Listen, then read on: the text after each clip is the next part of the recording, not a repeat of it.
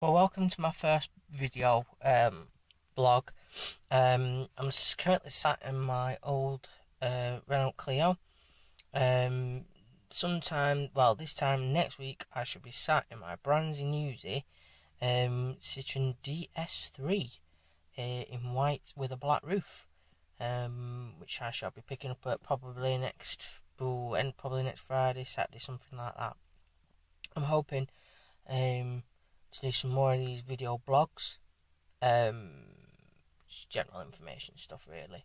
Um, so I'm just going to do a quick review on the car. Um, it's a very, very nice car. It's a Mark III 2008 model. Um, it's one of the top of the range um, of its. It's a DCI.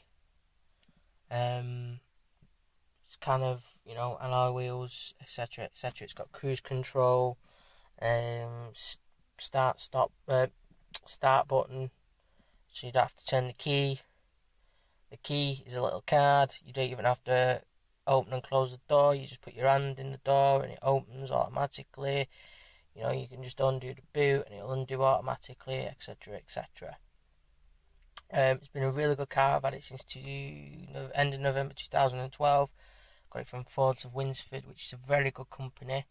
Um, I would you know if I weren't getting a brand new Uzi car from Citroen, I'd probably be going to them again.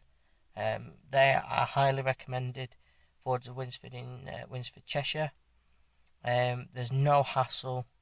Um, you know, the really good guys. The salesman, I think he was called Lyndon. Um, he was really, really nice. You know, he was he explained everything clearly. There was no rush about things. There was no pressurization.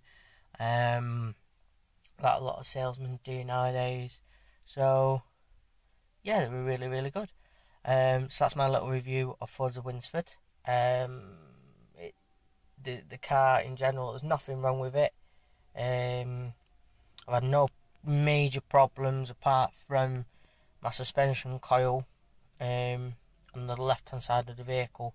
On my first MOT, it needed replacing, but I got that done on the warranty.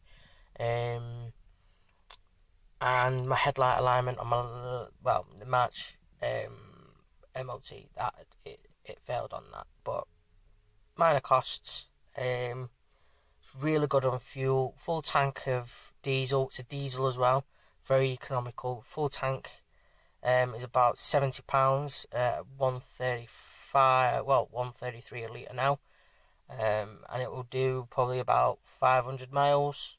So pretty good on that. So, yeah, that's my little mini review of my Renault Clio. So, I hope to see you again sometime. Um, probably in the new DS3. So, see you now. Bye bye.